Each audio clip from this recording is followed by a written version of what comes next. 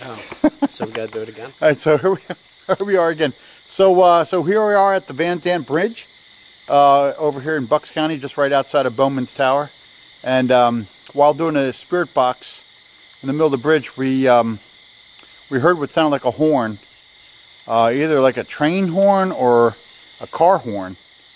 It was pretty cool, and it, it definitely came out of the speaker of the box. It wasn't like we heard. At least I don't think I heard it like outside the bridge. I, it really was. that sounded to me like it Yeah. came out of the spirit box. So And luck- luckily we came up on your recorder. So Yeah. We played it back and uh, yeah, it's pretty cool. It's it's really really neat. Uh, another car's coming. Yeah. This is an active covered bridge uh, built in uh, looks like around 18 something. 1870s, 1870s. So uh, anyway, we're gonna go check out some more parts of the bridge. Do you know what year it is? You ever come back to this bridge?